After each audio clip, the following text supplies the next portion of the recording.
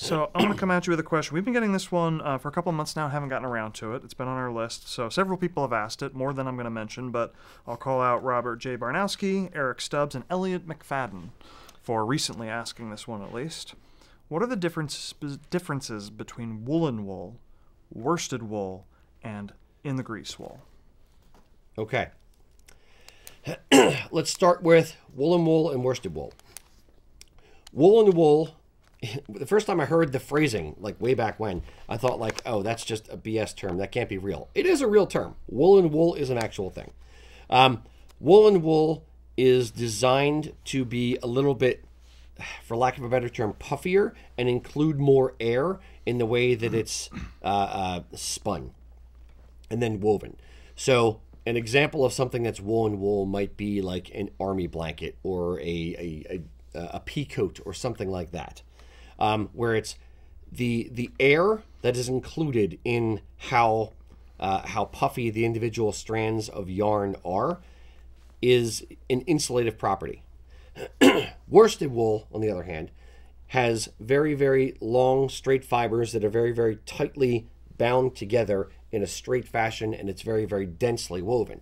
It is not designed for insulative properties. There's not really air pockets that are in the individual yarns, but it is better for suits or kilts or garments of clothing that are a, a nice garment of clothing that don't need Smooth. an insulated property. Exactly, a hard hard finish, if you will. Now, it uh, it starts woolen wool or or worsted wool essentially start with or they could start with the same fibers. It really boils down to the way that the fibers are straightened out or do you have like paddle, you know, paddle carders, which are like two paddles where you actually do this. Essentially, in your mind, think of like the, the thing you use to to uh, to comb your cat to pull the excess hair off of your cat. Two of those, which you go back and forth. or is it a drum carder, which is essentially a drum with a bunch of little spikes coming out in all directions, and you actually spin it around and it just kind of straightens the fibers as they go into it or is it combed? And combs are like big metal spikes that hold, you know, chunks of wool here, and then you actually, you know, go like this, you bat at it with another set of spikes, and then once it's all on this one, then you go sideways, and then it goes back to this one, and you're just basically straightening all the fibers. The next step is when you take the roving or like the, the puffy ball, if you will, or strip of yarn, or not of yarn, check that, of hair that you have. you take that, and when you go to spin it, um, if it is a short distance, a sh- um, what's the terminology, Mac? Um, short, not short spinning. Um, short spin versus long spin. Is that what it is? Um, short spin is you're dealing with a small amount, and you're just pulling here, and it's it's going right onto the spindle, so you're you're dealing a short length. Versus a long, where you're actually pulling it all the way out and it's actually twisting it. That is going to give you little tiny hairs. The, the long one is going to give you little tiny hairs kind of sticking out versus a short one, which is going to keep it very, very tight and very focused. So that is going to be better for worsted wool because it's tight and focused versus ones that have all the little hairs sticking out all the way down, which is going to be a little fluffier, a little airier. It's going to be better for woolen wool. Does that make sense? Yeah. Does that jive, Mac? Are you in the shot or no? Um, does that jive with what you've? I am now. there you are. Um, does that jive with what you know of worsted yeah, wool versus woolen wool? Yeah, the, it just it's yeah the the airiness, the light and fluffiness of it mm-hmm. is the yeah. key. Now let's touch quickly on in the grease.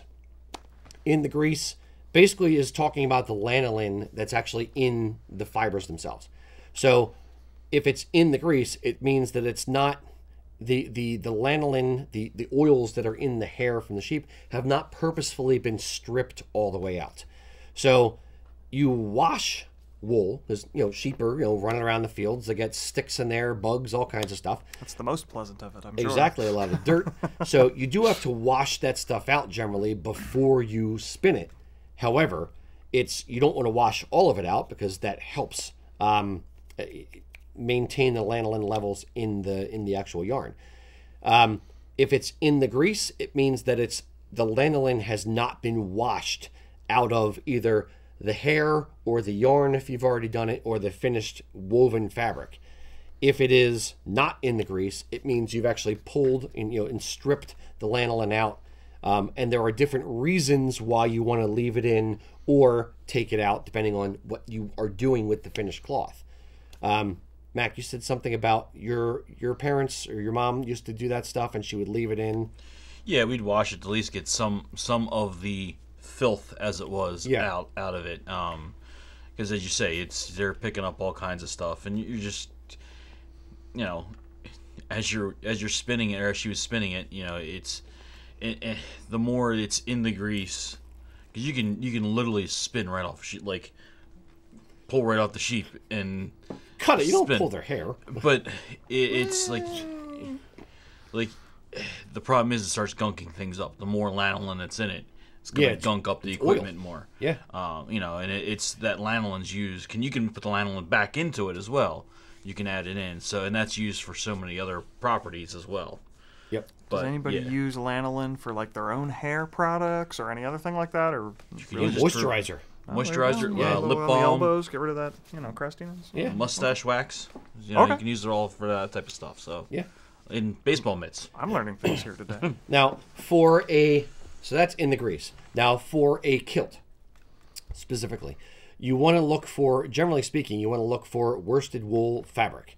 You don't want to have uh, uh, woolen wool because because it has more airy insulative, insulative properties.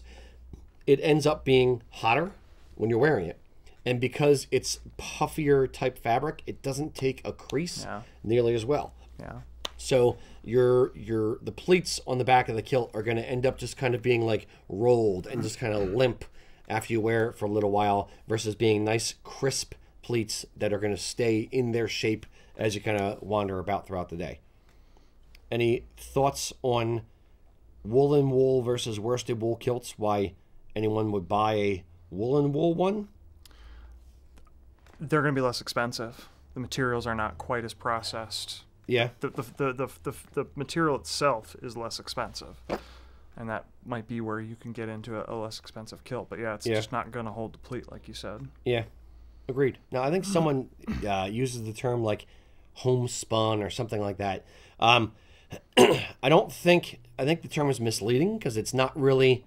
And I don't know who it is for the record. Um, but I've heard customers say like, "Oh, what about this company? They do homespun," and it's not homespun because it's not a little old lady sitting there spinning the actual yarn and then doing it on their own loom. If it was, it would be exorbitantly expensive because it's a more, much, much more manual process, not a, a commercial process. Um, so I think it's a little bit misleading, but it's it's meant to kind of as, as a marketing thing, um, talk about that it's going to be imperfect. There may be some slubs, there may be some knots in the fabric, um, and to kind of prepare people that it's not going to be quite perfect because it's homespun. Um, that's that's all I would really probably say about that. Any other thoughts? That's all I have to say about that. Yeah. That's all I have to say about that. right where i was Pull my going Forrest Gump out exactly.